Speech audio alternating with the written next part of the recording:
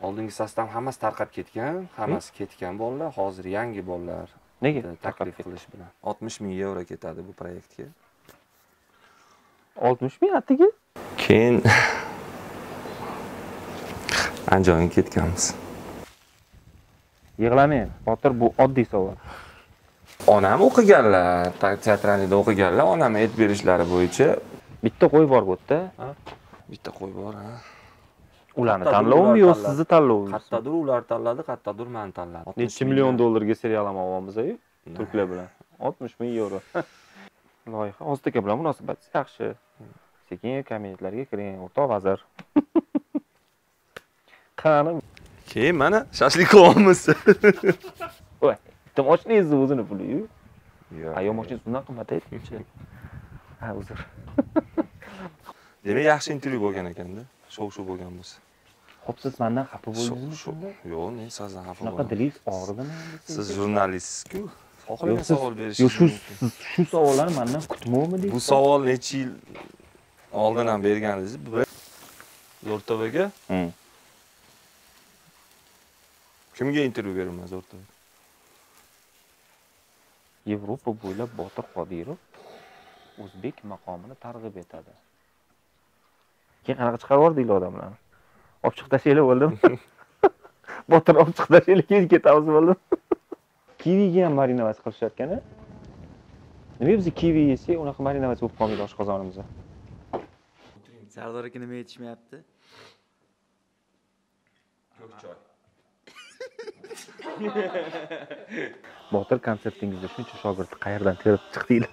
Qayerdan oldinglar shuncha shogirdni. Bir lahzalik suhbat uchun bir piyola ko'k choy. Voqea. Konsertdan oldin nimadir va'da beruvdinglar reklamada yo chiptaga yozib qo'yuvdinglar ketmanglar nimadir bo'ladi kapsiyo podarka qilamiz deb bo'lganmidi nima bo'lgandi orqasidan? Botir qodirov sabab ha shunaqa deng. Bo'lsa bo'ladi.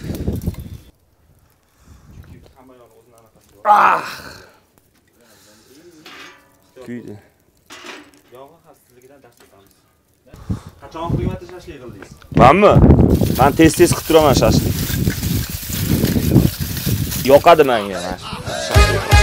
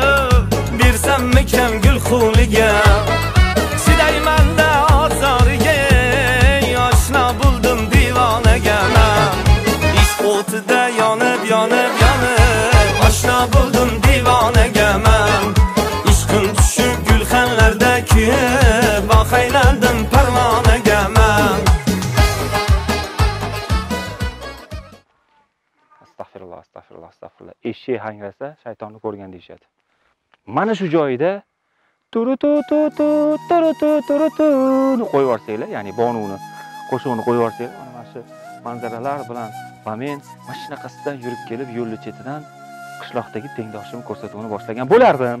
Agar yoshlar telekanalidami ishlaganimda. Ammo bu sayyod nuqta com qaysi biriga gapirishim kerak edi?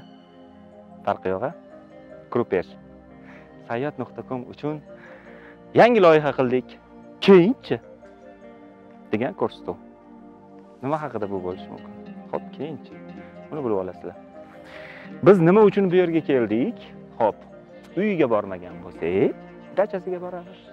Dachasiga bormagan bo'lsak degan joydan qilib mana sarvarjon qo'lingizdagi mikrofonni shundoq yugurib borib botirga qistirsangiz ular biza bilan salomlashadi. Xuddi hech narsa bo'lmagandek hey assalomu alaykum bo'lmasligi uchun.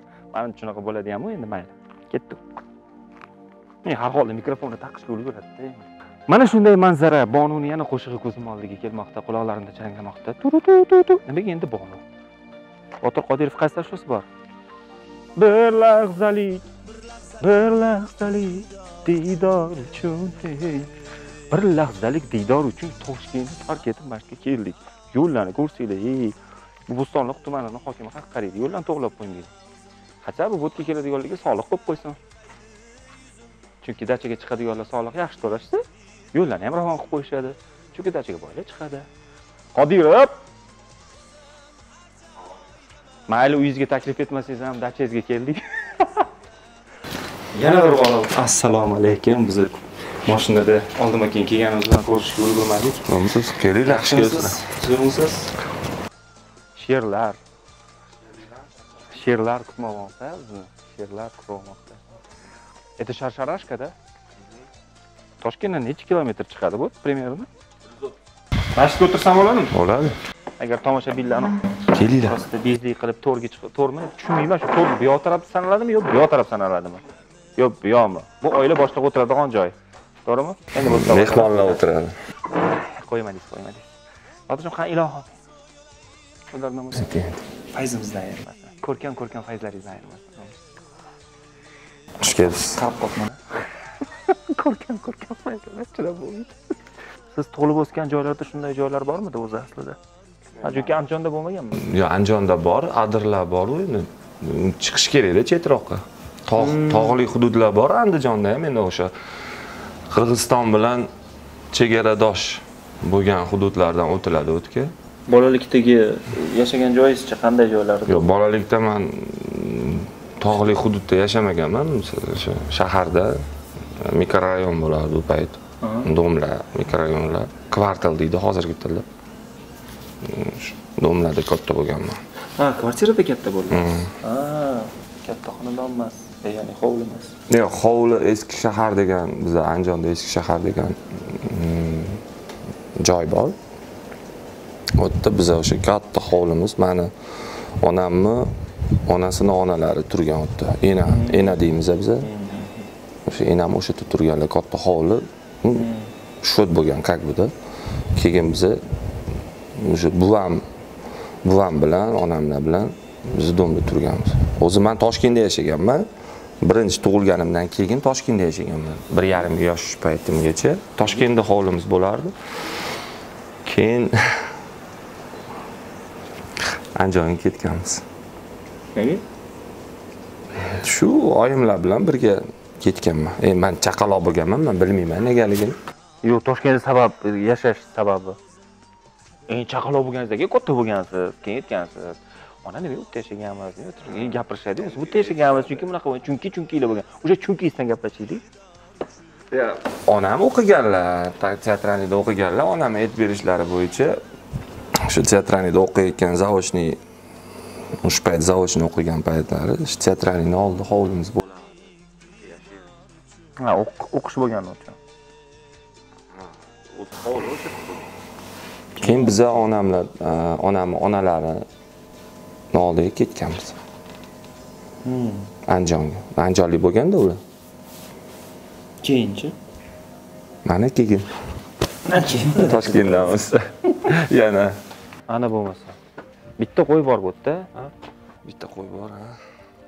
Keyinchi degan loyiha bo'lgani uchun o'sha e, asosan konsert bo'ladimi, nimadir e, albom taqdimoti bo'ladimi, doim gacha bo'ladi-da, o'sha konsertgacha intervyular bo'ladi yoki o'sha jarayonlarni ko'ramiz, lekin undan keyingi haligi ta'mi qoladi-yu, har narsani ta'mi og'izda qoladi-ku. Aha. o'sha narsa haqida o'sha xususida gaplashmaymiz. Masalan, sizni konsertingiz yoritilgandan keyingi kimlardir yoritadi, gapiradi. O'shandan keyingi balki qolib ketgan fikrlaringiz bo'lar. Masalan, ey mana bu joyini sezishmabdi yoki ha o'ylaganimizdek shunaqa bo'ldi degan.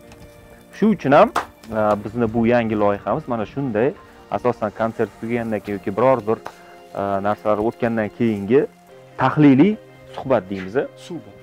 Bizada urfga kirgan konsertga a, yaqin qolganda barcha ommaviy axborot vositalari savollar berishadi ko'pchilik bilan suhbatlar o'tkazdingiz keyinchi.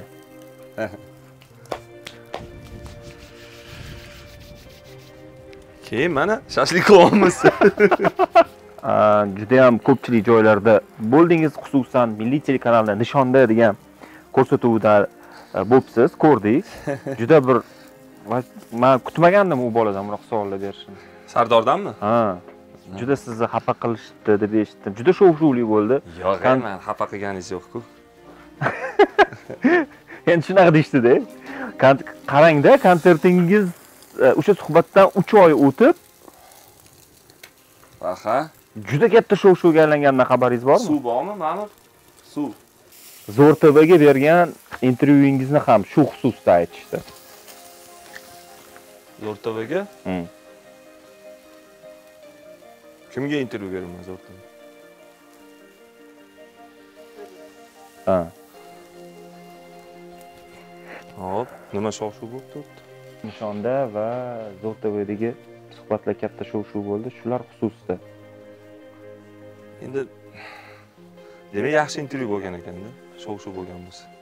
Ho'p siz mandan xafa bo'ldingizmi? yo'q men sizdan xafa shunaqa bo'lmadim. dilingiz og'ridimi siz jurnalistsizku Siz- savol yo'q shu siz shu savollarni mandan kutmovmidingiz bu savol necha yil oldin ham berganingiz birinchi bu savolni ikki ming yettinchi yo oltinchi yil bergansiz birinchi marta. Yo'q ko'r- shov shuvni ko'rdingizmi uch oy o'tgandan keyin nimalar bo'lganini? Kimgadir kerak bo'lganda bu manimcha. Hop zo'r tvdagi suhbatchi. Nimaga unaqa man e, to'g'risi ko'rmadim u suhbatni? Endi konsertroq ekan u suhbat. suhbatda shov shuv bo'ladigan konsert manimcha gap botirlar bo'lgani yo'q. xafa qilishdi degandek aytishdida suhbatdami? ha.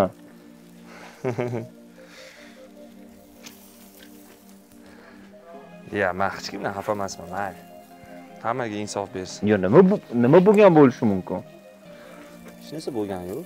Yo mana manikiga aniq tiniq javob berdingizda bunga jim turib kulib insof bersinlardan derdingiz? Yo'q nima tegib ketdi botirjonga suhbatlarning birida a man bilasizmi sardor bitta narsada? Man jurnalistlarni savollariga rosa o'rganib qolganman eng qaltis eng qiyin hali aytishadiyu hammani qiynaydigan savollar deyishadiyu. Mani qiynamaydi mana shunaqa savollar. Eng masalan eng haligi savollar bilan qiynab tashlaydigan jurnalist bilan ham bemalol suhbatlashgim keladi. Man qiyinchilikni yaxshi ko'raman chunki qiynalib katta bo'lganmanda qiyinchilik qancha oldimda tursa qancha qiyin savol bo'lsa qancha qiyin ish tursa o'sha manga yoqadi. Chunki agar o'shandan oqlab o'tsam man kuchli bo'laman. Har bitta qiyinchilik har bitta qiyin savolga yoki berilgan javob yoki masalan qiyinchilik bo'ladiyu odamni o'stiradi bu narsa. Sizni suhbatingizdan uh, aytishdiki judayam chiroyli suhbat bo'libdi ma'noli savollar ma'noli javob. Yaxshi suhbat bo'libdi degan gap eshitdim. Boshqa suhbat haqida hech qanaqa gap bo'lgani yo'q. Siz faqat menga intervyu bermadingiz konsertdan oldin nechta odamga intervyu berdingiz. Sizga berdim intervyu bo'ldimi? Hmm. ha zo'r tvchi o'zi o'rtava u unaqa intervyu emas edi u. Konsert sifat unaqa ediku. Передача. Nima uchun konsertdan avval erkak ustoz xonandani oldiga borib duo olmasdan ayol xonandani oldiga borib duo oldi? Demak kerak edi shu. Men g'ulomjon yoqubovman xurshid rasulovman ustozlar ko'pku yig'lamang botir bu oddiy savol. Bugun sizga yomon savollar bo'lmaydi. Shunchaki bo'lib o'tgan narsalar haqida.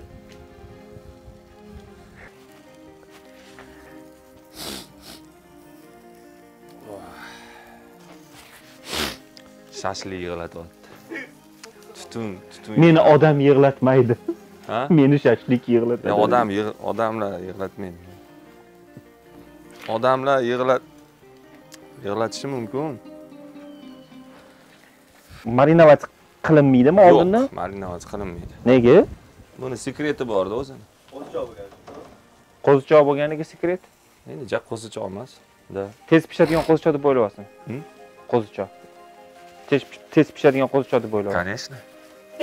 Hayotda bez bo'lgan bo'lsachi yo'q bu oylik qo'zichoq bu ha qo'y- qo'zichoqmi ha shuning uchun a Да.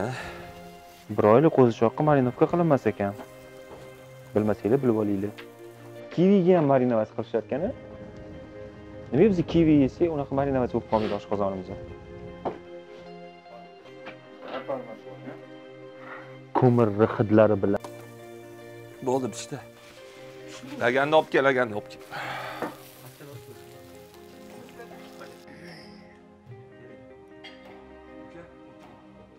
sardor aka nima yetishmayapti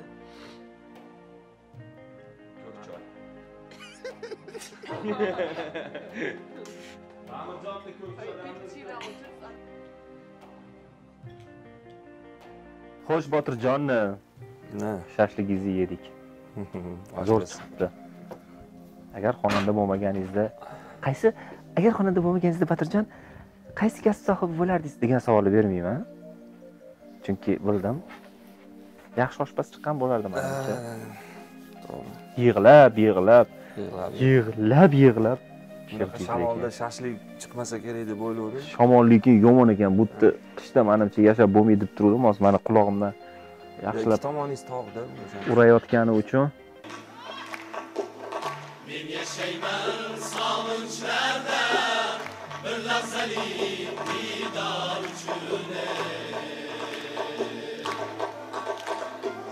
botir konsertingizda shuncha shogirdni qayerdan terib chiqdinglar? Qayerdan oldinglar shuncha shogirdni. Sahnani to'ldirib shuncha bolani ashula aytdi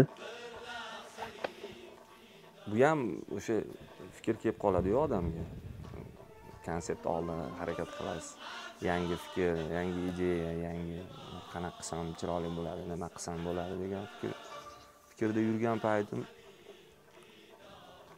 birdan hayolimga kelib qoldi. Viloyatga ketayotgandim yo'lda hayolimga kelib qoldi и e, сразу instagramda olib instagramdan xabar berdim. Chunki bir necha yillardan beri bizni oldimizga e, shogird tushaman deb bolalar ko'p endi kelmoqchi bo'lishadi telefon qo'ng'iroqlar qilishadi. Man ularni hammasi bilan ko'risha olmayman hammasi bilan gaplasha olmayman. Kim bilandir gaplashaman kim bilandir ko'risha olmayman kimnidir vaqti bo'ladi. Yoki mani vaqtim bo'lmay qoladi. Shunaqa bo'lib yuraverdi yuraverdi vaqt ham o'taverdi. Keyin hayolimga kelib qoldiki shularni konsertimga chaqirsam e olib chiqsam dedimda. E, yaxshi. O'sha bolalarni hayotida bu birinchidan biza ko'rishdik. Shu bahona tanishdik. Ularni man eshitib ko'rdim. Bir besh yuzta edi ular o'zi aslida besh yuztaga yaqin edi. Ularni eshitib eshitib eshitib eshitib saralab saralab saralab keyin oxiri o'sha o'ttiz beshta qoldi. Mana chiqishdi konsertga. Bular har bittasini hayotida unutilmas voqea bo'ldi. Masalan bu sahnaga chiqqanlar bor chiqmaganlar bor. Butun umr ijod qilib bu sahnaga qadam bosmagan san'atkor ham bor kons- u sahnada konsert qo'yish u yoqda tursin bir dona ashula aytish ham hammaga ham nasib qiladigan ish emasda lekin mana shularni butun hayotida esida qoladi qalbida qoladiki shu mana shu insonga havas qilib yo'nalishida ijod qilgan edim. Shu shu yilda shu yilda shu chisloda man chiqqanman shu konsertda degan. O'zini esida qoladi yaqinlarini esida qoladi. Yoki masalan mahallasida o'sha e, yashaydigan joyida mana shu konsertga chiqqanligi u bolalar uchun katta bir e, katta bir narsa beradi. Katta daraja berishi mumkin yoki ishonch berishi mumkin o'sha mahallasidagilarni oldida. Xizmatlarga aytishadi e bu ashula aytar ekan deb. Man shu bolalarni hayotida ozgina bo'lsa ham ishtirok etganimdan xursandman. Bolalarni qandaydir ma'noda bir ko'ziga ko'rinib qolishiga sabab bo'lganimdan xursandman. Bir lahzalik suhbat uchun bir piyola ko'k choy yo'q man bag'jo'miy ichyapman tugadi Ya tugadi, tugadi. Endi tugadi, tugadi Botir aka, men Ya tugadi va tugadi, voy voy tugadi.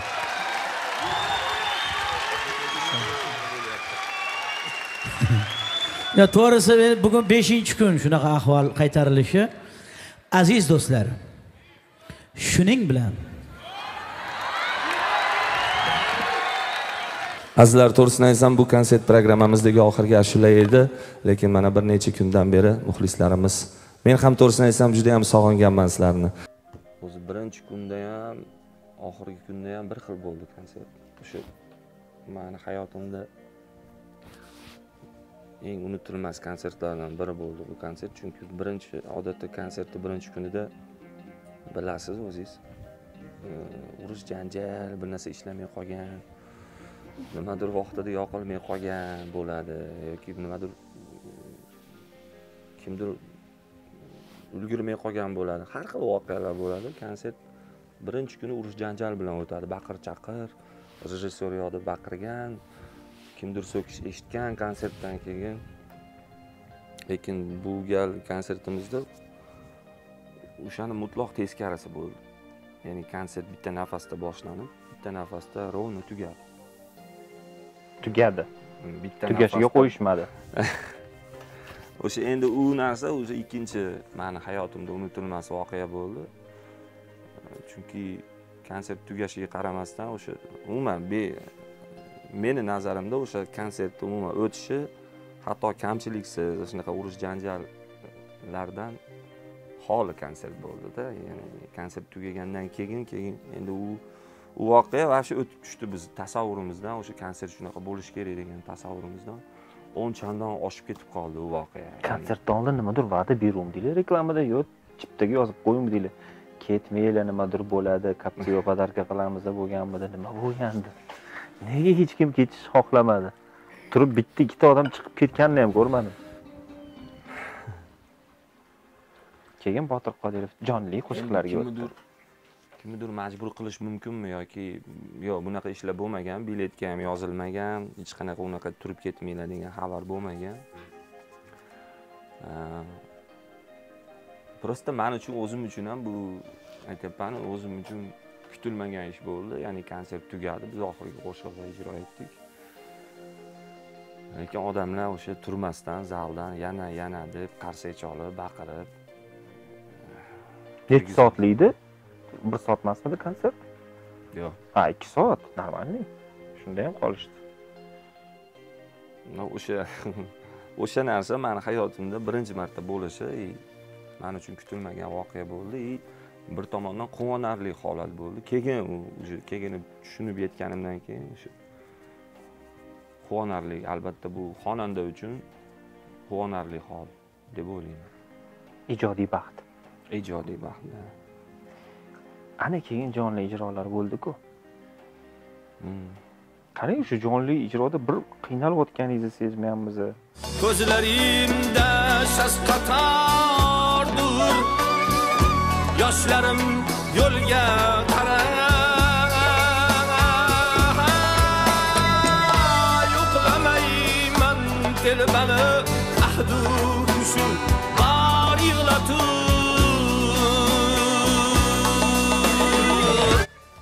shu to'liq quvora qolmabsizda konsert.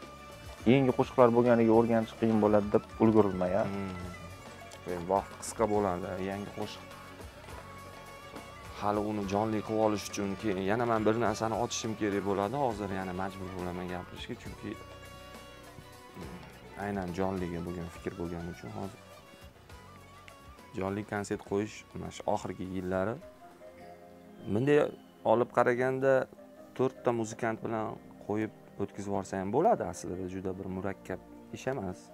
Lekin mani tasavvurimdagi jonli ijrodagi konsert o'sha to'rtta muzikant bilan o'tkazgim kelmaydida jonli konsert. U boshqacha bo'lishini xohlayman lekin hozir mana bu yildan уже shu narsaga harakat boshlangan bizda. Shunga yarasha jamoa yig'ilyapti. Shunga yarasha sostav deydi bizni tilda o'sha sostav yig'ilyapti o'sha oldingi sostavingizni chiqarib yuborasizmi? Oldingi sostav hammasi tarqab ketgan hammasi ketgan bolalar hozir yangi bolalar nega taklif qilish bilan nega tarqab ketishdi endi bilasizmi bu hayot. Kimdir kim bilandir bitta vaqtdan bitta vaqtgacha bo'ladi. Bu taqdir hammani tanlash imkoni o'zida bo'ladi. Ularni tanlovmi yo sizni tanlovingiz qayerdadir ular tanladi qayerdadir man tanladim ha. Injiqmisiz shunaqa? Injiqmisiz shunaqa? Yo'q. Chiqish qiyinmi? Man bilan yo'q. Shunaqa deb o'ylaysizmi o'shanga hayronmanda nimaga tarqab ketadi sizni sostavingiz gastrol asosan ko'pchilik o'zbekiston bo'ylab gastrolga chiqardi yo bo'lmasa qanaqadir bir ijodiy safarlar bo'ldimi konsert tugadi bo'ldi tugadi albom chiqadimi yo u yerdagi yangi aytilgan qo'shiqlarga promoga diqqat qaratiladimi klip olinadimi nima bo'ladi bu yog'i endi keyinchi keyin bizda konsertdan keyin hali tinganimiz yo'q. Biz rejamiz bo'yicha hamma narsa o'sha o'ylaganimizdek bo'ldi. O'ylaganimizdan oshib ham ketyapti. Rejamizdagi qilishimiz kerak bo'lgan ishlar e, faqat bu narsaga o'sha amalga oshmay qolayotganligiga ko'p sabablardan eng asosiysi bu. Bilasiz hozir hamma butun dunyoda koronavirus o'sha koronavirus sababli biz ko'p tadbirlarimiz borishimiz kerak bo'lgan joylarga. O'zbekistonda hali e'lon qilinmadiyu yo'q u chet el safarlari ha chet el safariga borishingiz kerak gastrol bilan. Nimaga? Ha nimaga uzr savol boshqacha beraman qayerga ya'ni? Biz hozir birinchi safarimiz e, yevropaga bo'lishi kerak edi. Riga latviya litva shahriga borishimiz kerak edi. Navro'z bayramiga undan keyin fransiyaga o'tib ketishimiz kerak edi. Fransiyada klip olishimiz kerak edi. Lekin korona vizalarimiz ham chiqqan. Fransiyada klip qaysi qo'shiq qo'shig'ingiz tushardi? Go'zal degan qo'shig'imga klip olmoqchi gulsanam edim. mamazoitova bilan duet emasmidi yo'q yo'q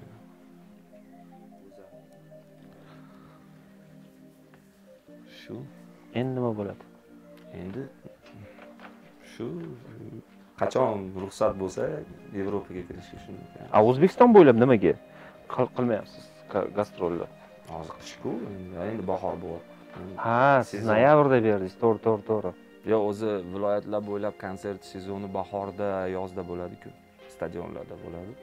Nishondani e, nazarda tutadigan bo'lsak siz bilan bog'liq bo'lgan e, mavzuda to'qnash kelganimiz bir savolda bu sardor mamadaliyev bo'ldi. U bilan suhbat qildim.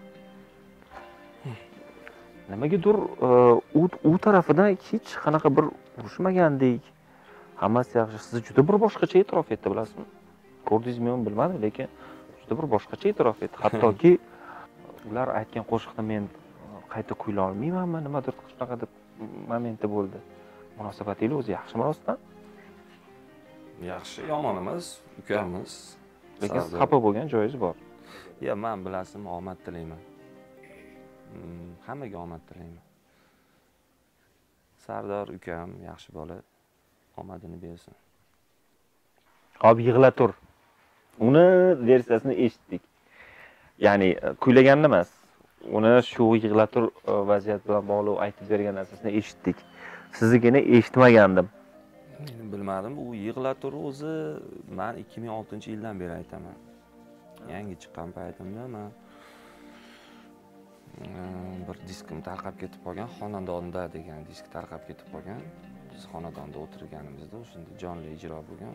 O'sha yili man ijro etganman u qo'shiq. O'zi yoshligimda o'sha talaba bo'lib yurgan paytimizda eshitib yurardim bu qo'shiqni o'shandan beri xizmatlarda to'ylarda u yerda bu yerda aytaman lekin официально ya'ni konsertda zapis qilib fonogramma qilib yoki zapis qilib официально ijro etmagan edim xizmatlarda aytib yurardim uni endi hamma biladi uni o'sha botir qo'shig'i ham deyishadi uni qo'shig'ingizni aytib bering o'sha yig'lab turib qo'shig'ingizni deyishadi ko'pchilik masalan meni muxlislarim meni qo'shig'im deb o'ylashadi u men aytaman meni qo'shig'im emas Ush- ustoz san'atkor kamoliddin aka rahmatov degan ustoz san'atkor bor akamiz man juda hurmat qilaman u kishini. O'sha shu kishiniki deb aytaman lekin endi xalq o'sha muxlislar o'sha mandan eshitgisi keladimi bilmayman o'sha qo'shig'ingizni aytib bering deydi. Chunki mandan eshitgan shekillida endi ular u qo'shiq.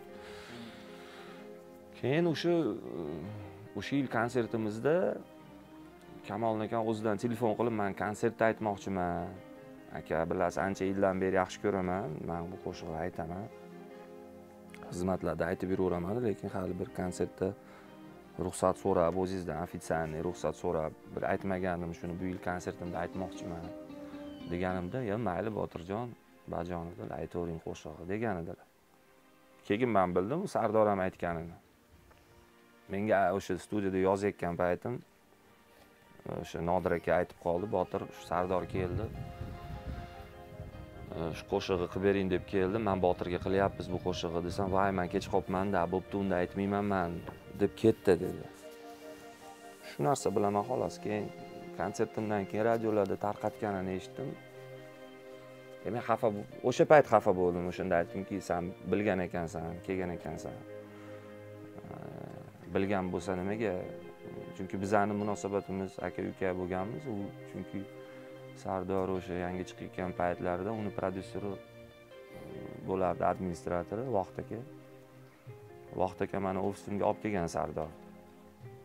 Botir bir maslahat bering. Nimalar qilsak bo'ladi? Sizni sardor yaxshi ko'radi hurmat qiladi qo'shiqlaringizni aytib ham yuradi eshitib yuradi sizni akam deydi. Deganda kelinglar mayli nima maslahat bo'lsa gaplashib bir tanishib o'tiramiz deganman o'shanda kelishgan. O'shandan beri biz aka man sizni yaxshi ko'raman hurmat qilaman deb yaxshi fikrlar bildirgan ya bo'ldi uka deb man man ham fikrlarimni bildirib o'sha maslahatlashib qo'limdan kelgan bir maslahatlarni bergan edim. Man endi o'sha yig'lab turib keyinchalik o'sha konsertda ular mani konsertimdan keyin uni bilib turib aytib yuborganini eshitib man ha o'sha payt xafa bo'lgandim. U bir paytlar mani oldimga kel. Aka degan bola bo'lsa ukam desam man man endi bu qo'shig'i hamma aytishi mumkin aslida. U e, xohlagan odam aytishi mumkin. Endi ana shu munosabat borligi uchun man o'sha payt aka ukachilik munosabat borligi uchun mm, bilib turib aytib yubordingizmi degan fikr. Man o'ziga aytganim yo'q manda shunaqa xafa bo'lgandek bo'ldim shu ya'ni bilib turib mani aytayotganimni xuddiki atay qilgandek bo'ldi keyin o'sha. Unga taalluqli boshqa voqealar ham bor edi. Shunaqa fikr yuritishimga taalluqli boshqa voqealar ko'p bo'lgani uchun man keyin o'shanda ozgina xafa bo'ldim keyin. Haligi aytgandek men xafa ko'p uzoq uzoq bo'lmayman man omad tilayman hammaga. Sardor yaxshi bola endi man bilmasdan bir bilmayman. Yo bir yaxshi ko'rib aytgan bo'lishi mumkin. Endi uni xohlagan odam bitta qo'shig'i e, bir nechta san'atkor aytishi mumkin. Masalan to'g'risi uni e, aytgan ijrosini ham hali to'liq bir eshitganim ham yo'q. Birov manga kelib eshittirgan masalan siz eshitganmisiz eshitmaganmisiz o'zingiz uni solishtirsangiz bilsangiz bo'ladi. U xohlagan odam bitta ashulani aytishi mumkin deb o'ylayman. Man o'zim uchun juda boshqacha kashf qildim sardor masalan oldin hech suhbat qilmagan ekanman hech bir tanqidiy nazar bilan juda juda juda tanqid qilardim lekin suhbatda o'zi umuman kadr ortida ham juda bir boshqacha samimiy shaxsan sizga nisbatan hurmat yuzasi bilan gapirganini kadr ortida ham buni sezdim bildim. Shunga sal hayron bo'ldim. Nimaga bular xafa bo'lishgan ekan? Yo'q e xafa emasman man aytdimku omad tilayman. ko'rishdingizmi? Gaplashdik hech ko'rishdik bir necha marta xizmatlarda. Yaxshi bola sardor man harakatchan yaxshi harakat qilayotgan san'atkorlardan biri. Man omad tilayman ukamga sog' bo'lsin baraka topsin. Keyinchi nima rejalaringiz bor edi desam koronavirus sizni Ha, ham rejalaringizni taqiq qo'yibdi bunaqasiga. Ha, yevropa man o'zbekiston bo'ylab desam u, birinchi yevropani urmoqchi bo'libsiz qarang. Endi o'zbekistonga qishda qayerga borasiz stadionga qaysi stadionda qishda konsert qo'ysa u bo'ladi yevropadagi o'zbeklar uchunmidi ha yo'q bu birinchisi davlat miqyosidagi bayram navro'z bayramiga nishonlangan davlat miqyosidagi tadbir edi keyingilari e, yevropaliklar uchun. Ha yevropaliklar uchun Men bizda hozir bitta katta proyekt bor, u proyektni hozir hali bo'lmasdan aytgim kelmayapti. endi aytib endi. Boshlab qo'ydingiz уже bo'ldi yetib qo'ydik yevropa bo'ylab chiqarkan. Bo'lsin, keyin ayting. siz maya maya chiqasizmi? Yo'q, bunaqa tilda yevropacha aytasizmi? Yo'q, yo'q. o'zbek tilida mavjud qo'shiqlaringizni yo Yo'q, faqat o'zim qo'shiqlarim emas. Bu yerda maqom o'zbek klassik qo'shiqlari bo'ladi asosan. Keyingi bosqichlarida o'zim qo'shiqlarim ham bo'ladi. И ular qo'shiqlari ham bo'ladi. Bu bos- bosqichma-bosqich proyekt. Xonanda men, cholg'uvchilar u yoqda. voy maqom bo'lib chala olarkanmi u yevropadagilar qanaqa bo'larkan bu yog'i O'sha qiziqdi. qachon u rejalashtirilgan Shu 1 yilning ichida bo'lib ketishi kerak ehtimoli bor. Hali tayyor emasda, ular o'rganyapti hozir. yevropa bo'ylab botir qodirov o'zbek maqomini targ'ib etadi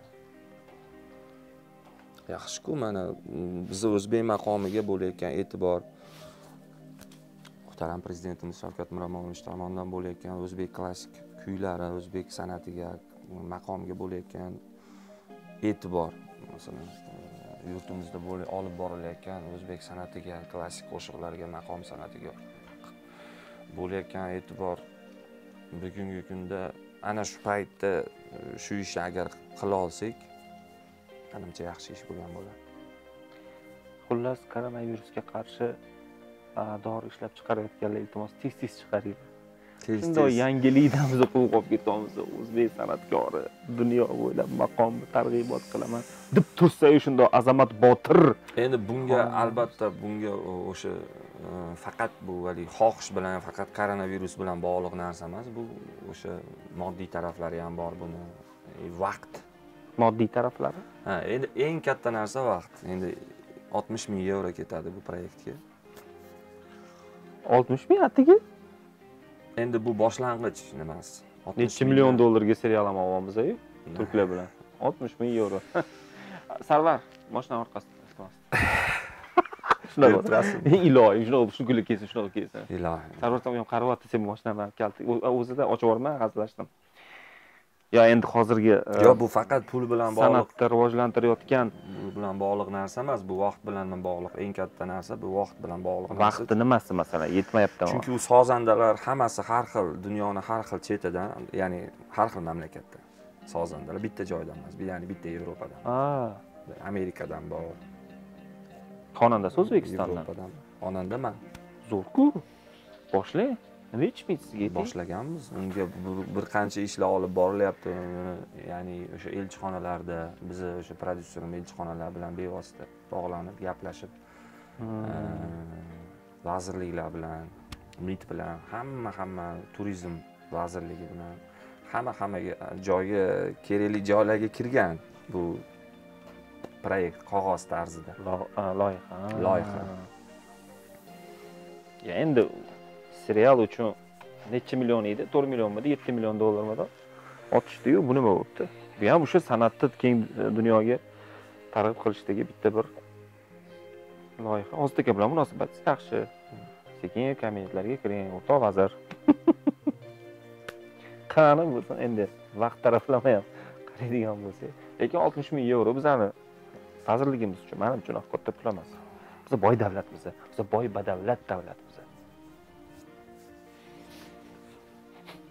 shavkat miromonovichga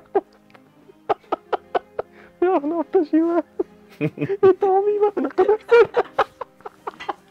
lekin birovga o'rgata olyapti birovga yomon o'rgatib qo'yadi yo'q yo'q endi prezidentdan nimadir deb tugatishim kerak degan topolmayman o'sha o'zbek maqomini dunyoga tanitish borasidagi butun dunyodan yig'ilgan sozandalar va o'zbekistondan xonandasi o'zbekistondan va bu botir qodirov.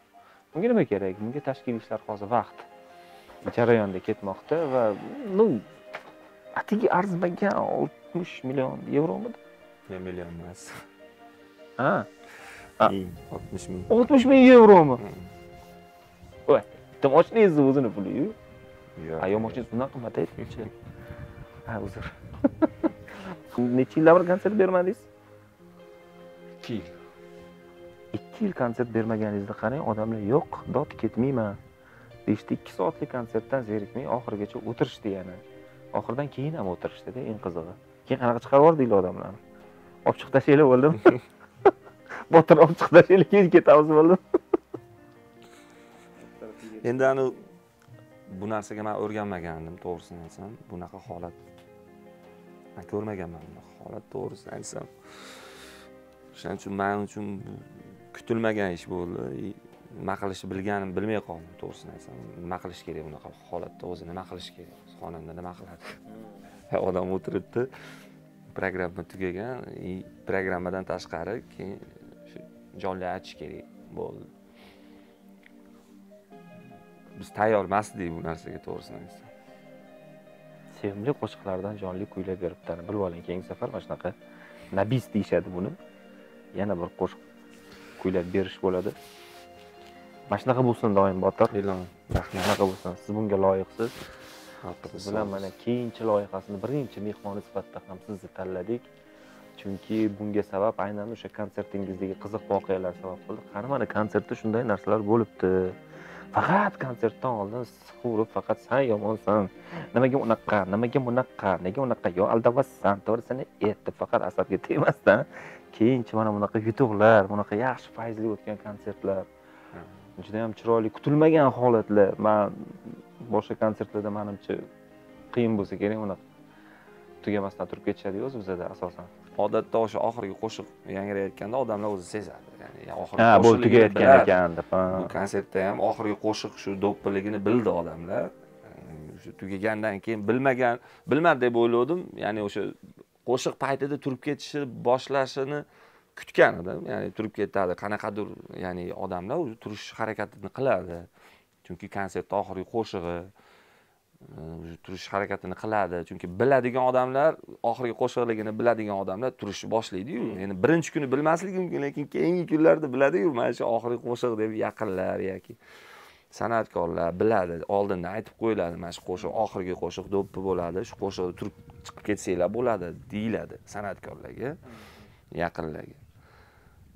Odatda shu narsani kutgan edim o'sha narsa bo'lgani yo'q keyin qo'shiq tugagandan keyin biz turibmiz u yoqdan keyin avazaka chiqishga majbur bo'ldi avazoxun ya tugadi deb turibdilar. Bilmasa bilsa bilmasa bo'ldi tugadi deb turibdi odamlar baqirig'i yo yo yo yana kuylasin yana yana bo'lib ketdi. O'shaning uchun repertuaringizga yana bitta qo'shiq qilib qo'ying oti yana bo'lsin. Yana yana? Yana yana yana. Bardavom degandek. Endi e, ikkita uchta yoki o'nta yuzta ikki yuzta odam masalan o'zingizni haligi ashaddiy muxlislaringiz baqirib e, yana eshitaylik deyishini taxminan tasavvur qilishingiz mumkinda odam o'zingiz e, haqiqiy fanatlar bo'ladi "Ey, eshitaylik deb qolish lekin to'rt ming uch yuzta odamni Qilt etmay o'tirishi. turmasligini ko'rishlik bu boshqacha bo'lar ekan san'atkor uchun konsert tugadi deb tursangiz o'zingiz og'zingiz bilan shu konsertimdagi oxirgi qo'shiq edi shu qo'shiq boshqa yo'q lekin o'sha yo'q deb tugadi deb tursang turmasdan yana eshitib to'rt ming uch yuzta odam o'tirishini ko'rishlik o'sha narsaga tayyor emasdik lekin o'sha xalqimizni mehri e'tibori bizni albatta quvontirdi. Va bundan keyin muxlislar uchun xalq uchun shunaqa tarzda tinimsiz mehnat qilishga biz tayyormiz. Xalqimizni ishonchini oqlashga yangi yangi yaxshi yaxshi qo'shiqlar kuylashga mehnat qilishga va shu xalq xalq tomonidan bo'lgan muxlislar tomonidan bo'layotgan ishonchni oqlashga qo'limizdan kelgancha harakat qilamiz. Kimdir rosa baqiryapti bitta nima yo'li hech xotirjamligini topmagan. Shunaqa davra payt bo'lib qoladi odam san'atkori ham bir holi bo'lib qoladiyu o'zi dam olish kunlari bo'lib qoladi shunaqa payt. Oila a'zolarim bilan yaqinlarim bilan do'stlarim bilan. Ha yoki mana sizlarga o'xshagan do'stlarim hamkasblarim bilan yig'ilib qolganimizda o'sha bir bir qilib turaman shashlik har doim ham qilishga imkoni vaqt ham bo'lmaydi. Lekin o'sha qo'l bola o'zing qilging keladiyu nimadir? O'sha payt. Bir bir shu toqqa chiqib shu tog'ni toza havosida nafas olib suvni bo'yida shashlik qilish menga yoqadi nimagadir shu yaqinlarimni ko'nglini olish xursand qilish bir taom pishirish. O'sha menga qanaqadir quvonch bag'ishlaydi bu voqea bu holat. Mm, xursand bo'ldim. Sizlar mani shu yangi loyihaga taklif qilganinglardan shu loyihada birinchilardan bo'lganimdan xursandman. Sayyod nuqta com sayti va butun jamoaga rahmat taklif uchun. Bizni ham mana shu taklifimizni rad etmasdan shu joyga yo'l yurib kelganinglar uchun minnatdorchilik bildiraman. Fursatdan foydalanib butun xalqimiz barcha vatandoshlarimiz e, barcha o'zbekistondagi vatandoshlarimiz aziz muxlislarimiz musofir yurtlarda e, yashab e, ishlab mehnat qilayotgan yoki yashayotgan aziz muxlislarimizga barcha yurtdoshlarimizga mm, bir tilagim barchalari sog' bo'lishsin oilaviy qut baraka alloh taolo barchani aziz qilsin. O'ylagan ezgu niyatlar murodi maqsadlarga yetishsin. E, musofir yurtlarda yurayotgan e, azizlarimiz muxlislarimiz e, yurtimizga esolomon sog' salomat yorug' yuz bilan kelishsin. Yurtimizdagi aziz muxlislarimiz xonadonlarda yaxshi to'ylar bo'lsin. To'ylarda biz san'atkorlar xizmat qilaveraylik yaxshi kunlarda ko'rishaylik. Barchalaringlarga e, sog'lik oilaviy baxt uzoq umr tilayman sog' bo'linglar. Sardor sizga ham rahmat.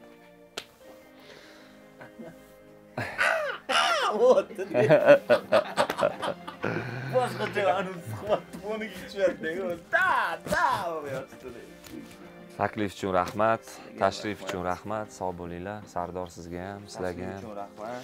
O'z qo'lingiz bilan Shukur sizlar. tutun yig'latdi. Tutun yig'latsin Tutun yig'latsin, tutun va yaxshi xabarlar yig'latsin. Suyunch. Qanday